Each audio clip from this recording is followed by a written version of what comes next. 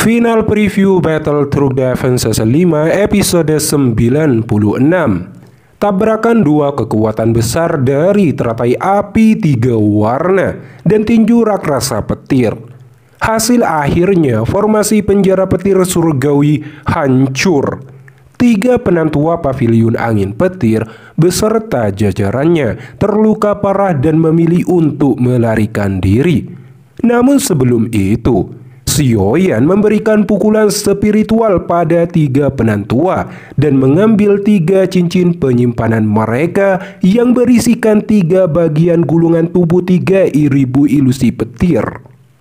Sioyan kemudian melihat Hong Tianshou melukai Dimozi dia segera melancarkan serangan dari belakang dan akhirnya membunuh Hong Tianxiao. Tubuhnya diambil dan jiwanya dimasukkan dalam botol. Kemudian Xiaoyan berpamitan pada keluarga Han. Setelah itu Xiaoyan mengalami sakit di tubuhnya karena ada sisa jiwa spiritual di tubuhnya karena sering meningkatkan kekuatannya secara berlebihan. Kemudian Sioyan mempelajari dan menggabungkan kata-kata petir dalam empat gulungan tubuh 3000 ilusi petir. Namun hasilnya nihil karena Sioyan masih belum bisa memahami konsep pelatihannya. Akhirnya Sioyan meminum pil huang perkasa dan menerobos dohuang bintang sembilan puncak. Jika proses kultivasi ini tidak disekip guys. Setelah itu, Sioyan pergi ke kota transformasi tulang dan mendapatkan berita tentang pegunungan mata surgawi. Setiap beberapa tahun akan muncul fenomena alam yang disebut kolam darah surgawi. Ini memungkinkan Sioyan memiliki peluang besar menerobos Dozong.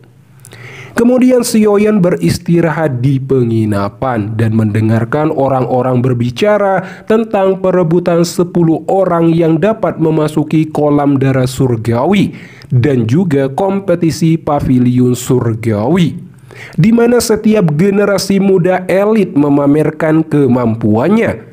Namun ketika topik pembicaraan berpindah ke Sioyan, Tiba-tiba Pak Tua muncul mendekati Sioyan dan duduk di dekatnya. Siapa lagi kalau bukan Fetian? Dikarenakan identitas sudah terbongkar, Sioyan langsung meloncat dan melancarkan serangan penguasa Suan yang diselimuti api surgawi. Tapi itu mudah dihentikan oleh Fetian dan mengetahui api surgawi Sioyan adalah penggabungan Fetian sangat tertarik dan ingin memilikinya.